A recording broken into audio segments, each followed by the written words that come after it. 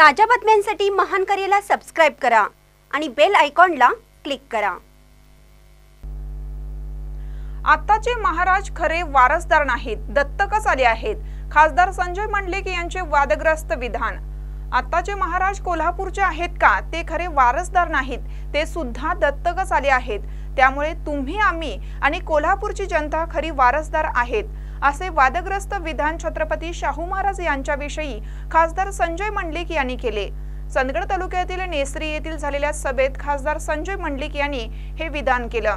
पाहूया पुढे ते काय म्हणतात.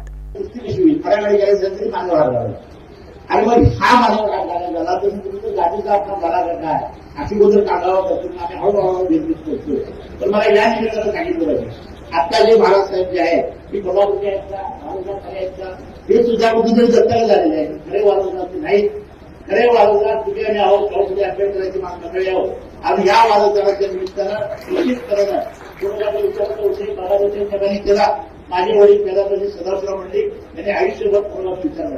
अंगाने जपला. कारण भाऊ महाराजांची भूमी आहे. छत्रपती राजश्री शाहू महाराजांनी आपल्याला पुरोगामी विचार शिकवला संस्थेचा विचार शिकवला आणि हा विचार शिकवत असताना माझं तर म्हणणं आहे या जिल्ह्यामध्ये राहणारा सामान्य माणूस असेल नागरिक असेल महिला असेल यांना जन्मजात या हवेमध्ये या पाण्यामध्ये आणि ते गुण आहेत. आपल्या डीएनए मध्ये असे गुण आहे की जन्माला आल्याला माणूस हा शाहू आणि हा शाहू विचार घेऊनच त्याला जशी बाबा फुले साहेब असतील त्याला